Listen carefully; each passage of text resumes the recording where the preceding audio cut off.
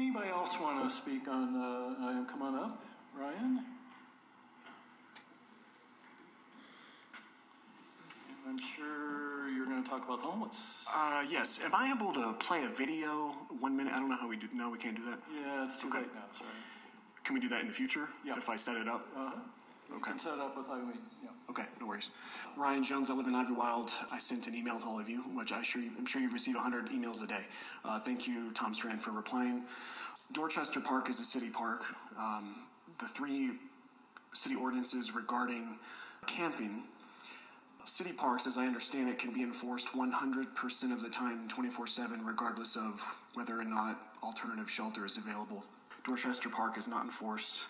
Uh, I call Colorado Springs Police Department, I call the homeless outreach team. The fact is, nobody comes. Um, so the video I wanted to show you is actually pretty interesting. But in any case, basically, I'm just here to point out that the homeless outreach team um, is not doing their job at Dorchester Park. The uh, police department apparently can also enforce city parks. They don't. I know the excuse uh, that I hear is that they're they're understaffed. They're you know they've got higher priorities, uh, which I understand. But I don't believe they've been on high priority status for the past two years that I've been here.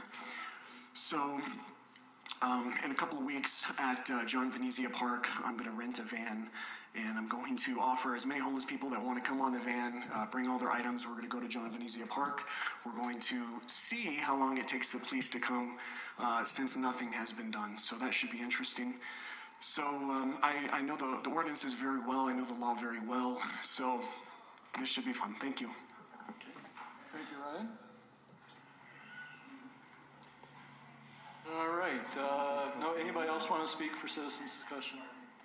If not, uh, let's go on to uh, item seven. Mayor's business. Anything? Nope.